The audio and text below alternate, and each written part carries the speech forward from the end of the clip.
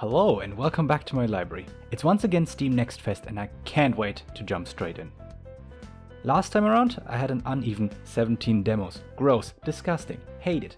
But this time I took great care to get an even 30, which is way too many. So let's just let's just get to it. Metal Hellsinger is a rhythm shooter similar to BPM bullets per minute if you know that game. In BPM, every single one of your actions is tied to the beat and can't be performed otherwise, which makes for a better rhythm experience but a worse shooter experience. Hellsinger is way more lenient in that regard and instead encourages good rhythm keeping by giving your shots more damage and adding vocals to the song if you can keep a high multiplier, similar like in uh, Devil May Cry 5.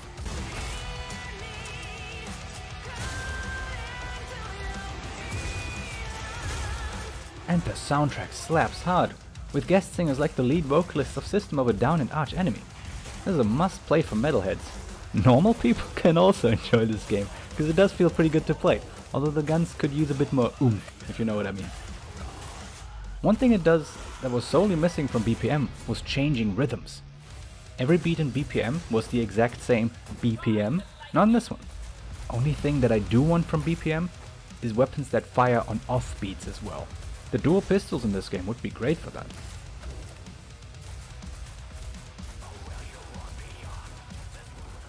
Angerfoot is strange. Kind of fun, but mostly strange. It's a first-person shooter, or maybe maybe a first-person kicker, if you want. That reminded me of the general loop of Hotline Miami. Enemies die quickly and you do too, although usually not in one hit since you can't see what's behind the door. It's an extremely fast game where you kick open a door, hope the door itself kills at least someone, and clear the room, ideally picking up a gun in the process, which will make the next room easier. Clearing side objectives unlocks new shoes with unique abilities. The style and humor of this game is pretty crass and surely not for everyone. It's got a tentacle with a knife though, which is an A plus reference. I appear to have invented a knife wielding tentacle. Cult of the Lamb. Oh, want more, give me more, please. This game's awesome. You play as the leader of the titular cult in a quest to defeat the old ones and return a different eldritch being back to power. The game is split between building your colony and going on roguelite dungeon crawls to gather resources and followers. The demo was really short, but I can absolutely see this gameplay loop getting very addicting. A definite contender. Alaskan Trucks. Melatonin is rhythm heaven meets the lo-fi beats to relax slash study to. I don't think there's more that needs to be said. The inspiration is obvious, especially with the remix at the end. This is good stuff, although it lacks a bit of the nah, the pizzazz of actual rhythm heaven, which is I think the point with the whole pastel sleepy aesthetic. It's definitely good. It's definitely a good game.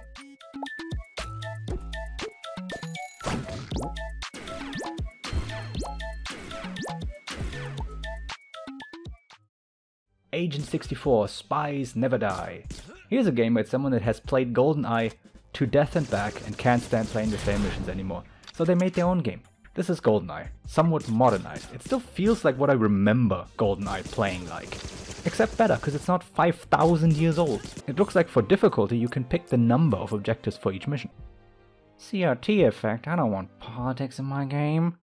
Sweet Transit is OpenTTD, I think? I'm sure that someone that actually got past building their first bus line can tell me if this is true or not. Not, uh, this one's not for me. I'm, I'm too dumb for these kind of games.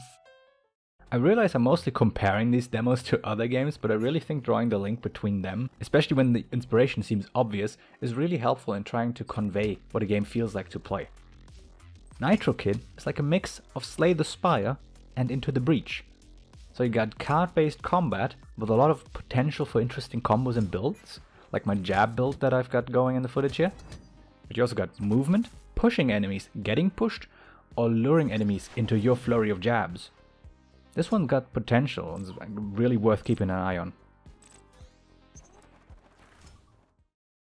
Renown is just Mordhau, but early access and doesn't feel as good to play. The theme page promises kingdom building, which could be its saving grace, but other than that, not that nice. Destroy All Humans 2 uh, Reprobed, the remake of the second Destroy All Humans game. It still promises the same sadistic, chaotic and hilarious mayhem that the original game and the first remake did.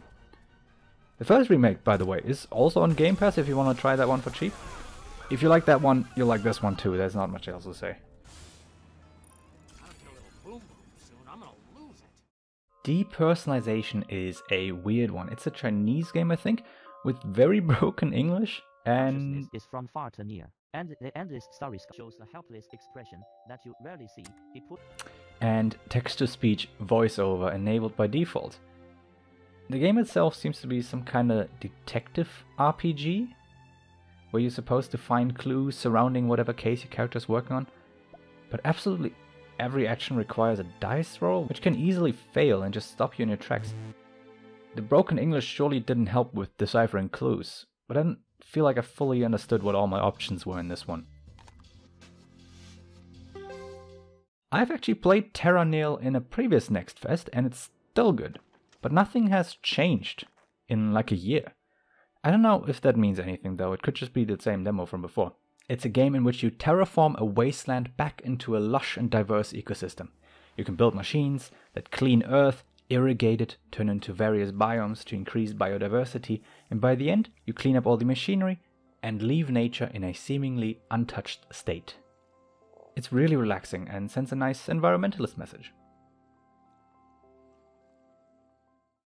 I'm writing these as I play them, but I'm pretty sure Midnight Fight Express is already my favorite game out of all of these. It's a top-down brawler with a fighting style somewhat reminiscent of the Batman Arkham games, but with enough flair and possibilities for creative and free-flowing combos that it just feels unique and incredibly fun to play. Just look at how cool the combat looks.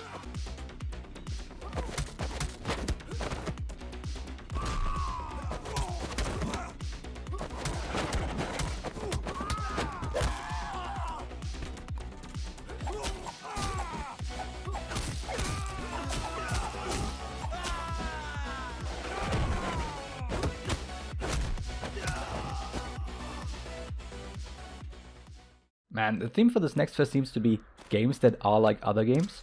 Either that, or I can't stop comparing shit after having played a million games in my life. Anyways, Gloomwood is a bit like Thief. It's an old school stealth game in a vaguely steampunky setting.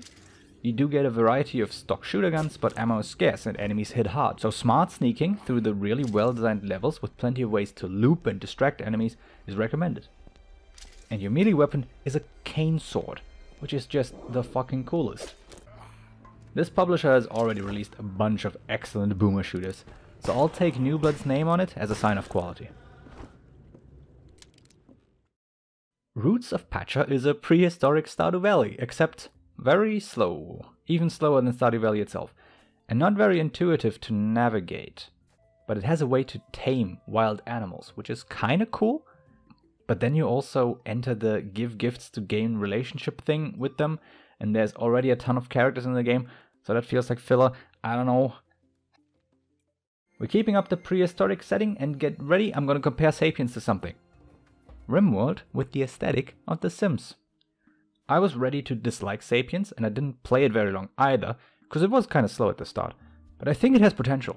From what I could tell, it very much has the same basic loop as RimWorld, and seeing your Sims, uh, I mean Sapiens, be completely bewildered by branches has a certain charm that's got me intrigued. And you can build some crazy shit from, if I can, if I can interpret the screenshots correctly, on the Steam page. So maybe.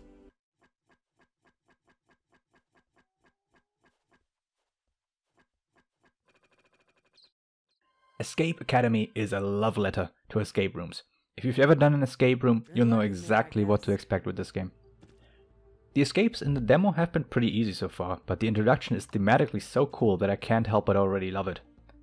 At the start you enter a generic, kinda dirty escape room that's way too easy, only for the lobby of the establishment to become the real escape room. That's some good stuff.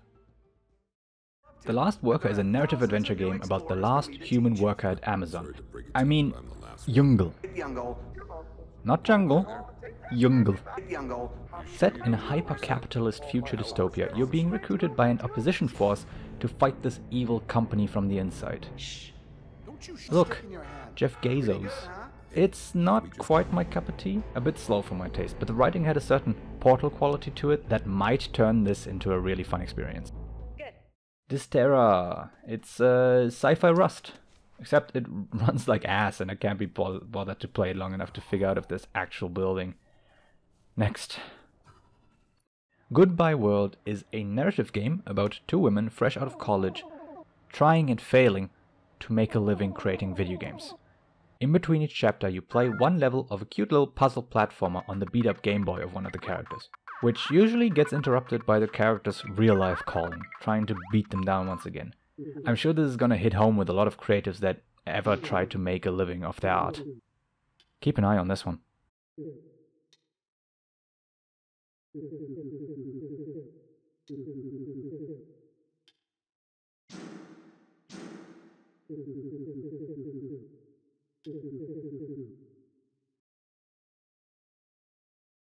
Frozen Flame looked cool from the screenshots and the art. Combat in the tutorial felt decent enough, a bit clunky but flashy. Then I left the tutorial and I saw glowing resources to pick up and my heart sank.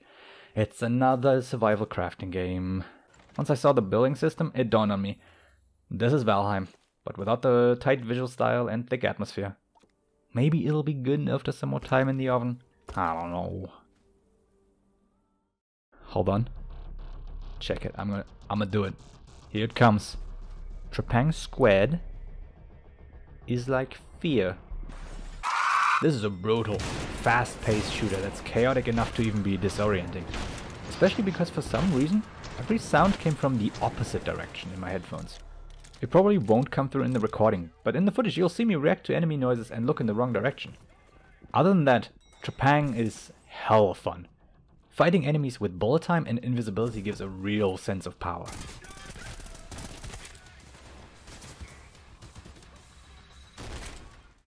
Grand Theft Auto Vice Kitten. It's meh.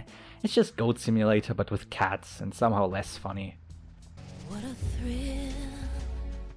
Naiad looked promising. A beautiful, painterly game about a river spirit.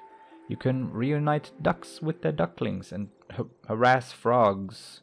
Whoa! I thought I was a goner. But that's kinda it? Maybe sing a flower into existence? I'm kinda missing some substance here. Gameplay is very simple and a narrative seems to be missing entirely? I don't know, maybe maybe that's just the demo. But this one really didn't grab me, despite how beautiful it is.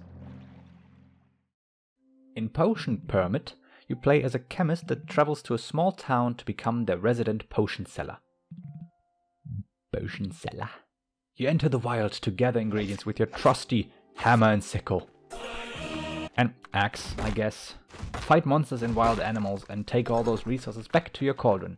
Brewing a potion is a light puzzle minigame that ends with a really satisfying animation. I like this one, it feels really relaxing to play. Oh, we got a cool one here. Beneath Oresa is a cinematic Slay the Spire. It looks so cool, I'm totally here for it. It has a teamwork mechanic that gives you benefits as you upgrade your teamwork with your chosen companion. This one's gonna be really fun. Only thing I need now is explanations for the terms and symbols on the cards, and for the game to not crash randomly. But it's too early to knock it for that. Alright, back to back winners here. Dome Keeper is a kind of tower defense game, where you have to keep your dome from being destroyed by shadow creatures. In between waves, you have a bit of time to mine for resources to upgrade your dome, and maybe even find bigger upgrades themselves. This is a really addicting gameplay loop with a pretty high difficulty in resource and time management. I've always loved those mining flash games back in the day, so giving it a bigger purpose and urgency works amazingly well. Backfirewall underscore is a comedic adventure game set inside of a smartphone. You are the update assistant for the newest operating system update. The old OS, OS 9, isn't a fan of being replaced, and after saving you from being deleted after the update is complete, you team up with them to crash the phone and postpone the update. This one's really creative, but the quality of it is going to hinge on the writing, I think. In the demo, it's good so far, and I'm curious to see what the full game has to offer. Stay focused now. Our exit is very soon. Moonscars is a moody action platformer, seemingly inspired by Hollow Knight and maybe Salt and Sacrifice. Pretty good. It looks like there's plenty of upgrades to be got and some decent build variety. Combat feels meaty and satisfying. Yeah, it's a good game. But from experience, I know that those kind of games don't click that well with me. We'll see. And last but not least, maybe, maybe least, WrestleQuest is a wrestling RPG set in a toy world. A very strange theme they went with, having wrestler action figures interact with plushies and Lego figurines. Makes for a mix I'm not sure I'm that into. There's actual Macho Man Randy Savage in the game, that's kinda cool. Combat is straight out of Paper Mario, and I can see this being a lot of fun. At this current time, it still needs some work. Even just for quality of life and trying not to crash.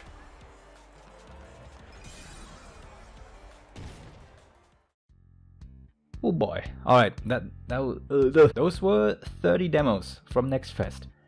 I really hope I get this edited down uh, in time before Next Fest ends. Uh, and I hope you enjoyed this. Here's the games I've wishlisted from all those demos. And yeah, I hope you enjoyed. Uh, do the YouTube thing of like, like and subscribe and stuff, you know? And until next time, whenever that might be, bye bye!